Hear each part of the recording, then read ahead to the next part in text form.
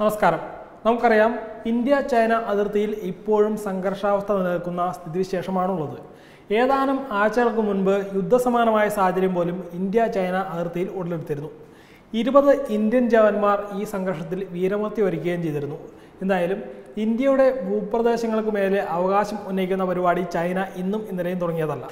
അതുപോലെ തന്നെ ഇന്ത്യയോട് മാത്രമല്ല ചൈനയ്ക്ക് അതിർത്തി തർക്കം നിലനിൽക്കുന്നത്. പറഞ്ഞു വരുമ്പോൾ പതിനെട്ട് രാജ്യങ്ങളോടാണ് ചൈനയ്ക്ക് അതിർത്തി തർക്കമുള്ളത്. അതായത് അതിർത്തി പങ്കിടുന്ന ഒട്ടെല്ലാ രാജ്യങ്ങളോടും അതിർത്തിയെ ചൊല്ലി കലഹിക്കുന്ന പ്രശ്നക്കാരനാണ് China. Japan Russia Singapore Taiwan Malaysia എന്നിങ്ങനെയുള്ള പ്രബല രാഷ്ട്രങ്ങളോട് പോലും ചൈനയ്ക്ക് അതിർത്തിയെ ചൊല്ലി തർക്കമുണ്ട്. അതുകൊണ്ട് തന്നെ അന്താരാഷ്ട്ര തലത്തിൽ ചൈനയെ വെറുക്കുന്ന രാജ്യങ്ങളുടെ എണ്ണം മറ്റേത് രാജ്യത്തിനുള്ളതിനേക്കാളും കൂടുതലാണ് എന്ന് പറയാം.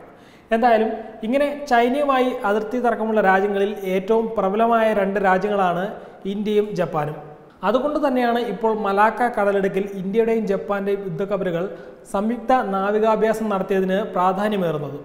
ഇന്തോ പസഫിക് മേഖലകളിൽ ചൈന നടത്തുന്ന അനാവശ്യവും ധിക്കാരപരവുമായ കടന്നുകയറ്റത്തിനെതിരായ ശക്തമായ മുന്നറിയിപ്പായിട്ടാണ് ഇന്ത്യയും ജപ്പാനും സംയുക്ത നാവികാഭ്യാസം നടത്തുന്നത്. ഈ നാവികാഭ്യാസം ചൈനയ്ക്കുള്ള മുന്നറിയിപ്പാണ് എന്നാണ് ഈ രംഗത്തുള്ള വിദഗ്ധരുടെ വിലയിരുത്തൽ. ഇന്ത്യയുടെ Rajput class ഡിസ്ട്രോയറായ I N S Rana Kora class missile കോറോൻ I N S Kulish എന്നീ യുദ്ധക്കപ്പലുകളും ജപ്പാന്റെ മാരിടൈം സെൽഫ് ഡിഫൻസ് ഫോഴ്സിന്റെ പരിശീലന സ്ക്വാഡ്രണിലെ J S Shimayuki J S Kashima എന്നിങ്ങനെയുള്ള യുദ്ധക്കപ്പലുകളും സംയുക്തമായാണ് നാവികാഭ്യാസം നടത്തിയത്. നാവികാഭ്യാസം ബേ ഓഫ് ബംഗാളിൽ വെച്ച് നടത്താനാണ് നേരത്തെ തീരുമാനിച്ചിരുന്നത്. എന്നാൽ പിന്നീട് ഇത് ഇൻഡോ പസഫിക് സമുദ്രത്തിൽ വെച്ച് നടത്താൻ തീരുമാനിക്കുകയായിരുന്നു. നമുക്കറിയാം ജപ്പാൻ ഇന്ത്യയുടെ സൗഹൃദ രാഷ്ട്രമാണ്. രണ്ടായിരത്തി പതിനഞ്ച് മുതൽ ഇന്ത്യയും അമേരിക്കയും തമ്മിലുള്ള മലബാർ നാവികാഭ്യാസത്തിൽ ജപ്പാനും പങ്കാളിയാണ്.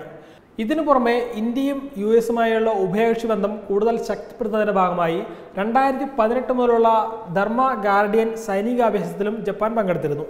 എന്തായാലും ഇന്തോ പസഫിക് മേഖലകളിൽ ചൈന തങ്ങളുടെ സ്വാധീനം വർദ്ധിപ്പിക്കുന്നത് ഇന്ത്യയും ജപ്പാനും ആശങ്കയോടെയാണ് കാണുന്നത്.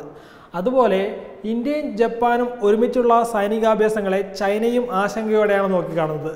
രണ്ടായിരത്തി ഏഴിൽ ബംഗാൾ ഉൾക്കടലിൽ നടന്ന ഇന്ത്യ യു എസ് മലബാർ അഭ്യാസത്തെ ചൈന എതിർത്തിരുന്നു.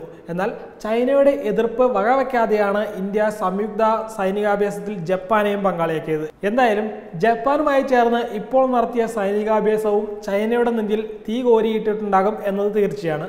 വെബ് ഡെസ്ക് തത്വമൈ ന്യൂസ്